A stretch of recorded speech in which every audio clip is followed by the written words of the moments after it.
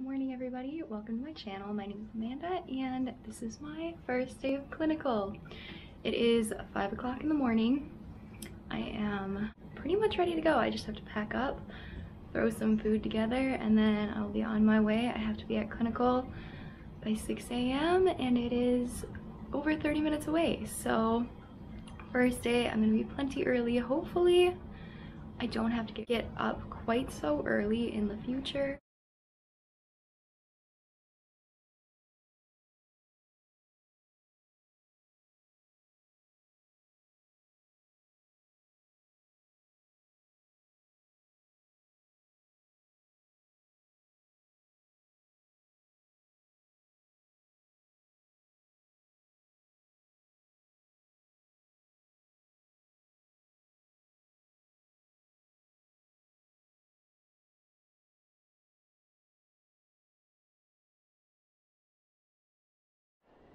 I'm done with my first ever clinical shift and it went so much better than I thought it was gonna go. I was really, really nervous and I got to see so many things in action today. It was crazy. Um, so I have to go home. We have a post-clinical debrief session at 1.30 and it's like 12, a little after 12.30 now. So talk to you later. It is 6.30. I got home and we did our post-clinical debrief. So we got to talk about what characteristics our nurse exhibited that we would also like to exhibit and anything cool that we saw.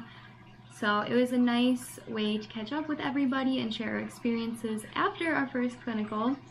Then after that, I a little bit of food, and I fell asleep for two and a half hours because I was exhausted. So that is the first thing I can say about clinical is it was exhausting. um, I went to bed a little after 9, got up at 4.50, but wow, I was so tired and there was a lot of standing. I didn't walk a ton. I thought I was going to be, you know, like back and forth back and forth between patient rooms but there actually wasn't a ton of like walking necessarily, but there's a lot of time like just standing up on my feet and I am really like sore from shifting my weight. I gotta be more careful about that. What did I actually see at clinical? Obviously, I can't share, you know, any details about the patient population because I do have to follow HIPAA. So when we first got there at 6 o'clock, we don't have our nurses to check in with yet. They don't get there until 7. So we got a little bit of a tour. We got to learn how to use the Epic system, which is what the patient charting is in. And then got our username and password set up for logging into the computer systems and to Epic. Then when 7 o'clock came, our nurses started showing up. So we found the nurse that we were assigned to. Uh, usually we'll be assigned to a specific patient underneath one of the nurses but today we are just assigned to shadow a nurse for all four of their patients and there were only three nurses that weren't treating COVID patients. We are not allowed to treat any COVID patients because we are students. There were just a couple nurses on the floor that were not treating COVID patients and we were in groups of three, three and then a group of two. Eight students total then once our nurse came and we got to meet them, we heard from the night shift nurses about do that check-in. We went pretty much right away to med administration and this was something we did a lot of. We did a lot of med administration but it was really interesting because we had a lot of different kinds of med administration. Of course, there were a lot of oral medications to administer, but it was really neat to see in Pyxis the like drawers just pop out with the right medication section that opens up so you know what to take from and you just pick the correct dosage according to the MAR. We also got to do insulin checks and then watch her deliver insulin. So it was an abdomen subcutaneous injection with an insulin pen. We got to see that in action, which was nice because we did that last week in lab. We got to see that on a real person.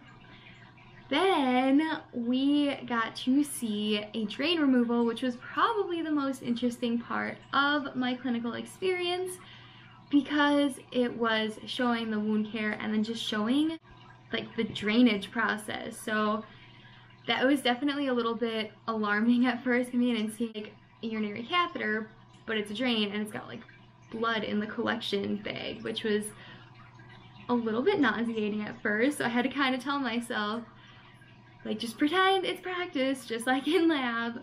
And then it was fine. Um, I got over it, but I was a little like surprised at first. And then we got to see a drain come out of someone's spine. I'm on an ortho unit. It just went and went and went. Like it seemed like she was pulling it out forever. It was crazy.